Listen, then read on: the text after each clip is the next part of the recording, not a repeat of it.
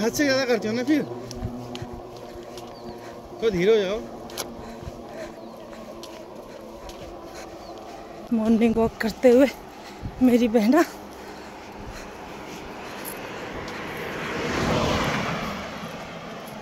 हमसे कम से कम सौ मीटर आगे जाते हुए।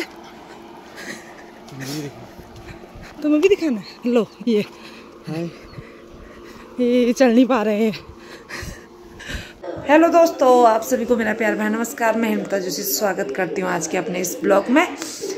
आज दिवाली दिवाली की सफ़ाई तो हमारी हो गई थी पहले, लेकिन ये बिस्तर इस्तर सुखाने का काम नहीं हो पाया था तो आज मैंने पूरा घर का बिस्तर सुखाना है और भी काफ़ी काम है। तो देखते हैं क्या क्या होता है आज। तो करते हैं। तो बनी रहिए ब्लॉग में। देखिए आज का फुल डे रूटीन मेरा कैसा रहता है? उठाओ। मुझे बचाओ। जा उठाओ। ले जाओ फटाफट ले जाओ। फटाफट ले जाओ फटाफट चल। मैं बेहोश हो रहा हूँ क्यों हो रहा है बेहोश? काम के नाम पे बेहोश हो जाता है तू हट। उठो जल्दी उठ। अरे बेहोश हो गया।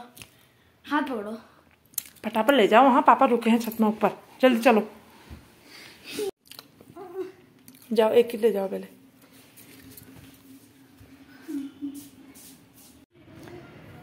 ये आ गई मैं छत में और आज हमारे गेहूँ भी यहाँ सूखे हुए हैं और साथ ही पूरा बिस्तर आज सुखा देते हैं हम। ये देखिए पूरी छत भर दी हमने। यहाँ भी हैं इधर भी डल तार तार लटक रहा तार लटक रहा है ऊपर मत डालो। उधर लटका दो। टूटेगा तार मज़बूत है। हाँ नहीं टूटेगा। ये पूरा। तो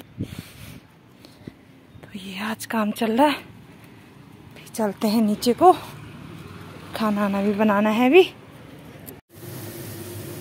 ये हो गई मेरी दिन के खाने की तैयारी। आज मेरा बंदा सिंपल दाल और चावल मैंने चढ़ा दिया।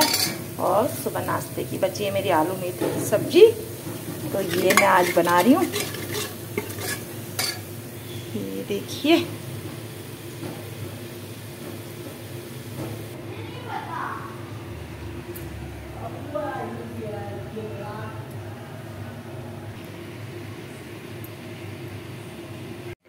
और ये लग गई मेरी खाने की थाली। ये दाल चावल बच्चों के लिए है और मैं खाऊँगी सब्ज़ी और चावल।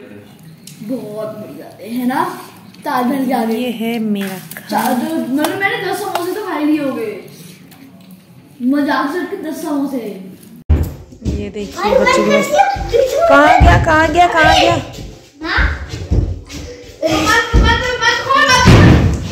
अरे अरे, अरे, अरे,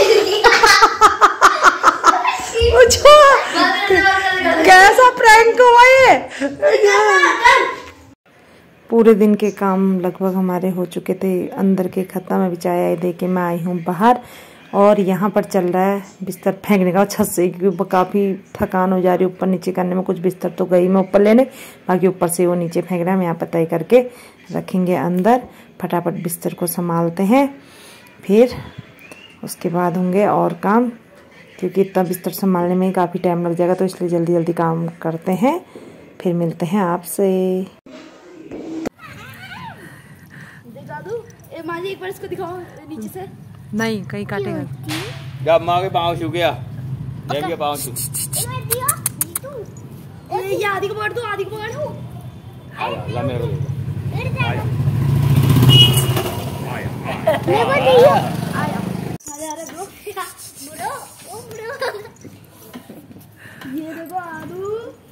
ये देखिए, हम कपड़े संभाल रहे हैं। इसी बीच हमारे वहाँ एक छोटे से कुत्ते का पिल्ला आया है। कितना प्यारा है, देख सकते हैं। और बच्चों ने इसके साथ जम के मस्ती कर ली है। ये देखिए, अब हम चलते हैं अंदर की ओर।